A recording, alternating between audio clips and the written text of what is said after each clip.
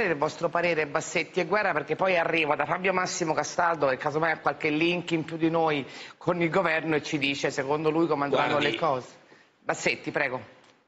Allora, io non, è, non voglio criticare nessuno, però io sono quattro mesi consecutivi che continuo a dire che bisognava preparare una campagna vaccinale ancora più coraggiosa di quella che abbiamo preparato.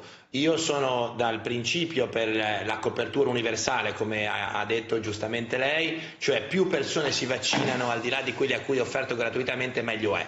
Se è vero quello che anche a me risulta, perché stamattina anche a me hanno chiamato almeno due, due pazienti dicendomi che hanno provato a comprarlo in farmacia e gli è stato detto che non ce ne saranno, se fosse così questo è gravissimo, perché vuol dire che noi non ci siamo preparati come avremmo dovuto. Esatto. E questo è l'ennesima dimostrazione che abbiamo probabilmente non approfittato dei mesi in cui si doveva lavorare per prepararci all'autunno-inverno. Professor Guerra, dato che lei sta per recarsi al Comitato Tecnico Scientifico, eh, volevo sapere la sua opinione, ma anche insomma, chiederle di farsi portatore, perché insomma, io sono d'accordo con il professor Bassetti, la cosa più importante a questo punto è aver imparato la lezione. Abbiamo sofferto tanto, ognuno a proprio livello, adesso ci aspettiamo davvero che alcune cose succedano punto e basta.